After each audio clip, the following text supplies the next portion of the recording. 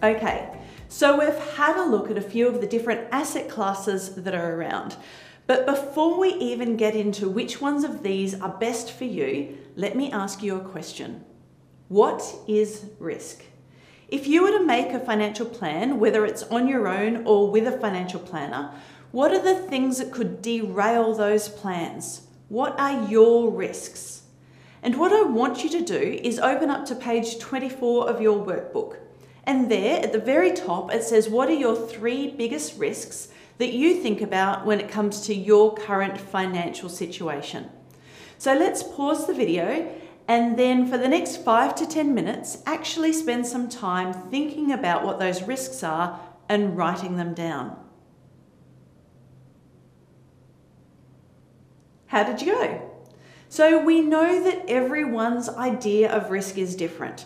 From doing this around the country, we had risks come up like health risk, or what happens if the age pension or Centrelink changes, or what happens if we go through another GFC, what happens if the coronavirus happens again and we have a bigger pandemic. For others, it will be about what happens if my child gets a divorce and I need to be able to help them out. Like everything in finances, everyone's idea of risk is going to be different. And it's really important to have this discussion with a financial planner if you ever go and see one. Because really, if a financial planner doesn't know about what your risks are, they're not going to be able to make a plan B in case that actually happens. The other thing to know as well is that a financial planner or an investment advisor might look at risk a little differently to you. You see, when we look at risk, we often look at it from a mathematical and investment market point of view. We'll look at things like currency risk. What happens if we have investments overseas and currency moves against us?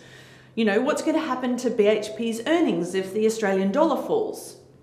We'll look at something like political risk. What's the risk of a changing government? What rules might they change? What might a change of government do to something like franking credits? We'll have a look at things like interest rate risks, but not necessarily the way that you do.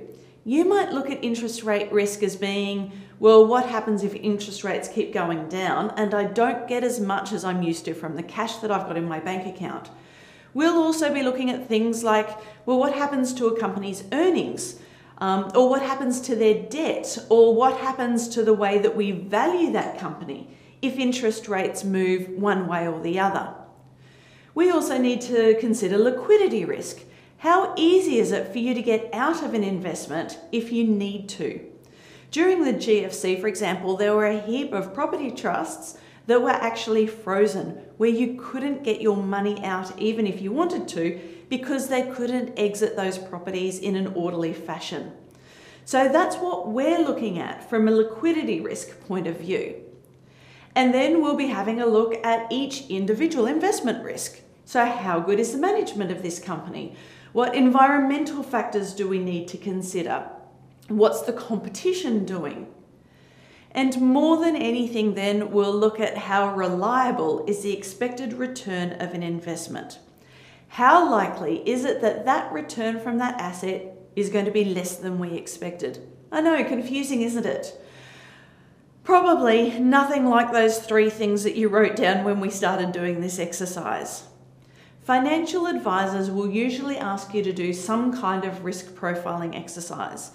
And it's designed to see how much you can tolerate risk or how much can you tolerate your investments going up and down. This is then going to help guide them towards what asset classes you should have in your investment portfolio, which is what we're going to have a look at the next video. For now though, let's go through this risk profiling and what it might look like. So I'll get you to go to page 26 and go through the risk profiling questionnaire, which is on page 26 and page 27. Just follow the instructions, answering each question, tallying up the score at the end, which will give you a final score. And then over the page, you'll see that your score is going to correlate to a particular risk profile. So again, I'm going to get you to pause this video, and this might take you another five to 10 minutes to do and then come back to the video when you've done it. If it takes you more than five or 10 minutes, you're overthinking it. Please don't answer the questions you way, the way that you think you should act make sure that you answer them with your initial, initial response. So go ahead and pause this video and come back in 5 to 10 minutes. Welcome back again.